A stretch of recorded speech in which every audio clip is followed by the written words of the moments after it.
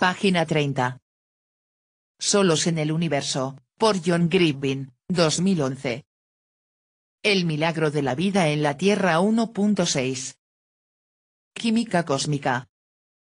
Los átomos de carbono poseen la inusual habilidad de combinarse con hasta cuatro átomos más a la vez, incluidos otros átomos de carbono. La manera más sencilla de describir esto es imaginar que un átomo de carbono tiene cuatro ganchos que asoman de su superficie, y que cada uno de estos puede acoplarse a otro átomo para crear una cadena química. En el ejemplo más sencillo, cada molécula de metano compuesto está integrada por un único átomo de carbono rodeado de cuatro átomos de hidrógeno, que están unidos a él por cadenas, CH4. Pero los átomos de carbono pueden unirse unos a otros a proa y a popa para formar cadenas, engastando cada átomo de carbono de la cadena con otros dos átomos de carbono, pero dejando dos eslabones libres para enlazar con otros tipos de átomos, y dejando los dos átomos de carbono situados en los extremos de la cadena con tres eslabones libres. O la cadena puede convertirse en un anillo en el cual los átomos de carbono forman un bucle cerrado, todavía con dos eslabones disponibles para cada átomo del anillo para formar otras uniones. Incluso las moléculas complejas con base de carbono, incluidos otros anillos y cadenas, pueden adherirse a otras cadenas de carbono u otros anillos. Es este rico potencial para la química del carbono lo que hace posible la complejidad de la vida. De hecho, cuando los químicos empezaron a estudiarla y se dieron cuenta de que el carbono interviene de manera tan crucial, el término química orgánica se convirtió en sinónimo de química del carbono. Existen dos componentes clave en la química de la vida. Para los no biólogos, la molécula vital más conocida es el ADN, o ácido desoxirribonucleico. Esta es la molécula que se halla dentro de las células de los seres vivos, incluidos nosotros, y alberga el código genético.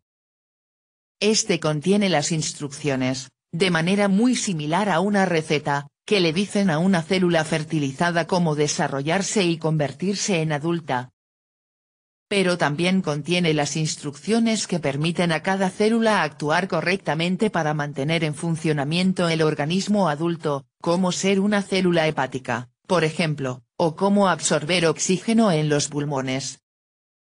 El mecanismo de la célula también incluye otra molécula, el ácido ribonucleico, o ARN.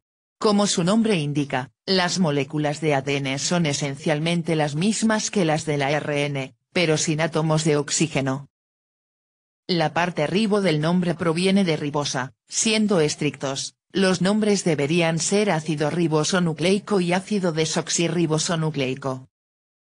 La ribosa, C5H10 o 5, es un azúcar sencillo, pero se encuentra en el epicentro del ADN y el ARN. Cada molécula de ribosa está integrada por un núcleo de cuatro átomos de carbono y un átomo de oxígeno que se unen describiendo una forma pentagonal. Cada uno de los cuatro átomos de carbono del pentágono posee dos eslabones libres con los cuales unirse a otros átomos o moléculas. En la propia ribosa, estos eslabones unen el pentágono con átomos de hidrógeno y oxígeno y otro átomo de carbono, que suman cinco en total, y a su vez se unen con más hidrógeno y oxígeno pero cualquiera de estas uniones puede ser sustituida por otra, incluidos grupos complejos que a su vez se adhieren a otros anillos o cadenas. En el ADN y el ARN, cada anillo de azúcar está unido a un complejo conocido como grupo fosfato, que a su vez se adosa a otro anillo de azúcar. Por tanto, la estructura básica de las moléculas vitales es una cadena, o espina dorsal, de grupos alternantes de azúcar y fosfato, con elementos interesantes que brotan de dicha espina. Son los elementos interesantes los que encierran el código de la vida, transmitiendo el mensaje en lo que en la práctica es un alfabeto de cuatro letras donde cada una de ellas se corresponde con un grupo químico diferente. Pero no ahondaremos en esa historia aquí desde el punto de vista de la química interestelar, lo importante son los cimientos básicos del ADN, a saber, las moléculas de ribosa. Nadie ha detectado todavía ribosa en el espacio, pero los astrónomos sí han visto la huella espectroscópica de un azúcar más sencillo denominado glicolaldehído. Este está compuesto de dos átomos de carbono, dos átomos de oxígeno y cuatro átomos de hidrógeno, normalmente escrito como H2 cocho, que refleja la estructura de la molécula, y es conocido, lógicamente, como un azúcar con dos moléculas de carbono. El glicolaldehído se combina fácilmente, en condiciones que simulan las de las nubes interestelares, con un azúcar de 5 moléculas de carbono, creando la ribosa de 5 moléculas de carbono. Todavía no hemos hallado los cimientos del ADN en el espacio, pero sí los cimientos de los cimientos. El otro tipo de molécula de la vida es la proteína. Las proteínas son el material estructural del cuerpo siempre contienen átomos de carbono, hidrógeno, oxígeno y nitrógeno, a menudo azufre y a veces fósforo. Cosas como el cabello y los músculos están hechas de proteínas en forma de largas cadenas, similares a las del azúcar y el fosfato en las moléculas de ADN y ARN elementos como la hemoglobina, que transporta oxígeno en la sangre, son formas de proteínas en las cuales las cadenas se enroscan formando pequeñas bolas. Otras proteínas globulares actúan como enzimas, que propician ciertas reacciones químicas beneficiosas para la vida o inhiben otras que son perjudiciales. Existe tal variedad de proteínas porque están integradas por una amplia gama de subunidades, conocidas como aminoácidos. Las moléculas de aminoácidos normalmente tienen un peso que se corresponde aproximadamente con 100 unidades en la escala estándar, donde el peso de un átomo de carbono se define como 12, pero el peso de las moléculas de proteínas oscila desde unos pocos miles de unidades hasta unos pocos millones de unidades en la misma escala, lo cual nos da una idea aproximada de cuántas unidades de aminoácidos son necesarias para crear una molécula proteínica. Una manera de interpretar esto es que la mitad de la masa de todo el material biológico de la Tierra adopta la forma de los aminoácidos. Pero, si bien una molécula proteínica concreta puede contener decenas o cientos de miles de unidades de aminoácidos independientes, todas las proteínas halladas en todas las formas de vida de la Tierra están compuestas de combinaciones de solo 20 aminoácidos distintos. De igual modo, todas las palabras de la lengua inglesa están integradas por diferentes combinaciones de solo 26 subunidades, las letras del alfabeto, Existen muchas otras clases de aminoácido, pero no se utilizan para crear la proteína de la vida tal como la conocemos. Si un químico desea sintetizar aminoácidos en el laboratorio, es relativamente fácil y rápido empezando por compuestos como formaldehído, HCHO, metanol, CH3OH, y formamida, HCONH2, los cuales estarán a mano en cualquier laboratorio químico bien abastecido. Con dichos materiales a disposición, sería una locura empezar por los básicos, agua, nitrógeno y dióxido de carbono. Pero el laboratorio químico no es el único lugar en el que podemos encontrar esos componentes. Uno de los resultados más espectaculares de la investigación de nubes moleculares es el descubrimiento de que todos los componentes utilizados de manera habitual en el laboratorio para sintetizar aminoácidos, incluidos los tres que acabamos de mencionar, se hallan en el espacio, junto con otros como el formiato de etilo, C2H5 o CHO, y el N-propilcianido, C5H7CN. En cierto sentido, las nubes moleculares son laboratorios químicos bien abastecidos, donde las moléculas complejas no se forman átomo a átomo, sino uniendo subunidades no tan complejas.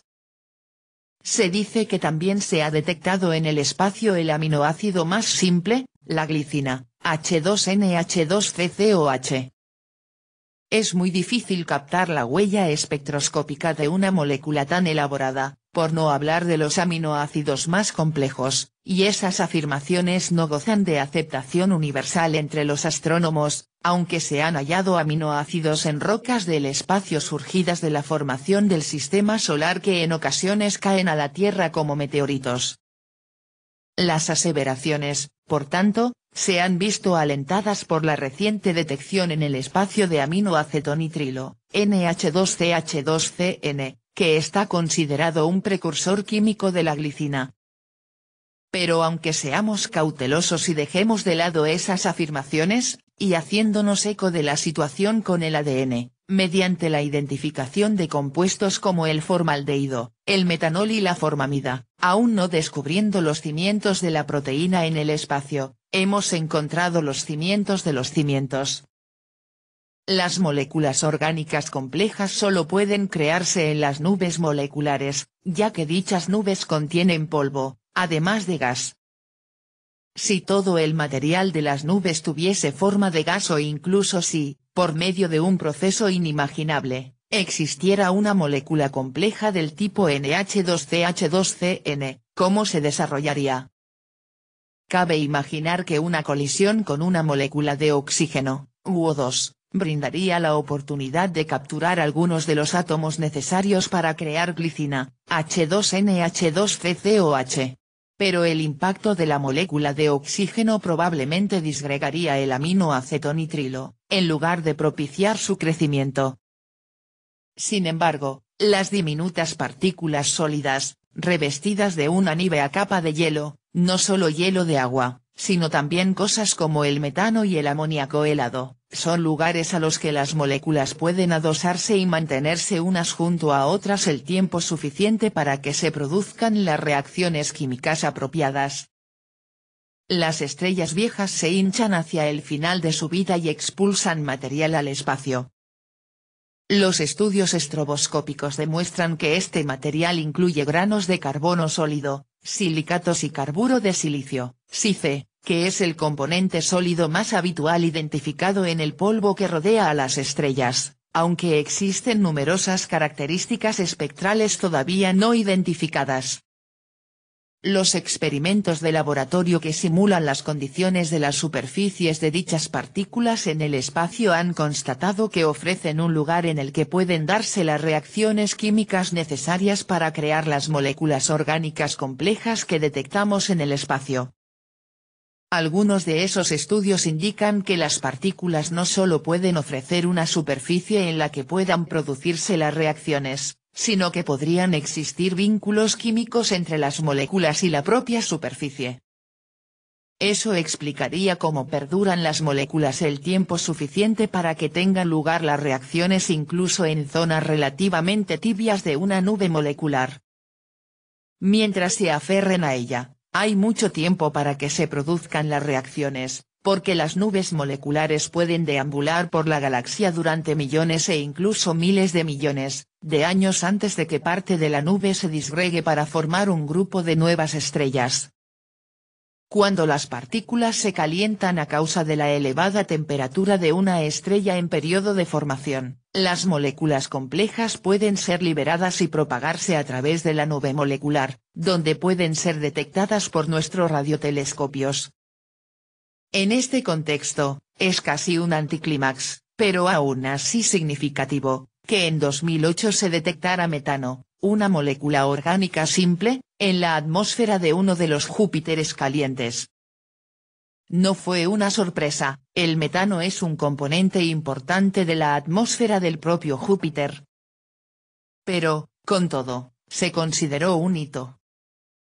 A título informativo, el planeta es el mismo en el que se identificó agua anteriormente y que orbita la estrella HD 189.733.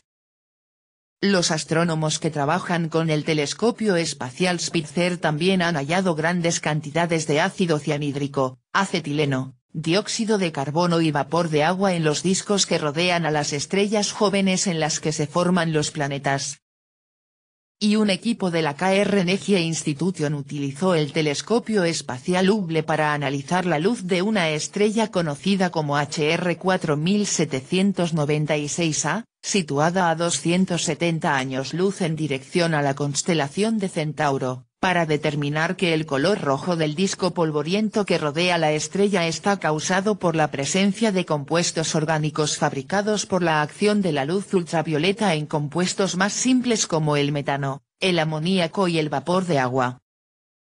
Estos pueden ser sintetizados en el laboratorio, pero no aparecen de manera natural en la Tierra porque serían destruidos en cuanto se formaran al reaccionar con el oxígeno de la atmósfera. Pero su presencia explica el tono marrón rojizo de Titán, la luna de Saturno, están presentes en Cometas y colaboración de Sergio Barros 38 preparado por Patricio Barros. Asteroides si bien podrían haber estado presentes en la Tierra cuando era joven. Las tolinas se consideran precursoras de la vida en la Tierra, lo cual convirtió su descubrimiento en el disco que rodea HR 4796 a en una noticia candente. Sin embargo, esto no es lo mismo que encontrar esos componentes en un planeta, cuando planetas como la Tierra se forman por la adición de fragmentos de roca cada vez mayores, se calientan debido a la energía cinética liberada por todas esas rocas chocando unas con otras. Un planeta rocoso inicia su andadura en un estado estéril y líquido, sin duda lo bastante caluroso como para destruir cualquier molécula orgánica presente en el material a partir del cual se formó. La importancia de todas las observaciones de material orgánico en el espacio es que nos dicen que existe una gran reserva de ese material disponible para caer sobre los planetas una vez esté lo bastante frío como para que las moléculas complejas sobrevivan. La vida no tiene que inventarse de cero en cada nuevo planeta a partir de elementos básicos como el agua, el dióxido de carbono y el nitrógeno, al igual que un químico orgánico no tiene que sintetizar los aminoácidos partiendo de esos elementos básicos. Página 38.